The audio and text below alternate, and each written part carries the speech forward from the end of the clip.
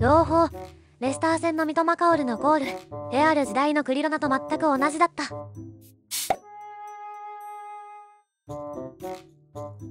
全く同じやん。三笘はクリロナレベルってことかよ。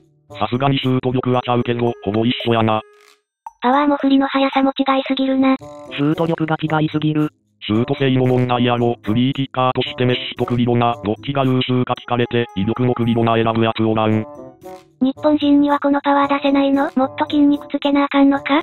クリロナは別次元やが堂安は日本人離れしてる。堂安本人も言ってるが、ボールを深い位置に置いても腰のひねりを利用してパワーのあるシュートを打てるから、スペイン戦のようなゴールが決まる。堂安はオランダ時代からミドルシュートよく決めてるし、今後も定期的に決めるだろうね。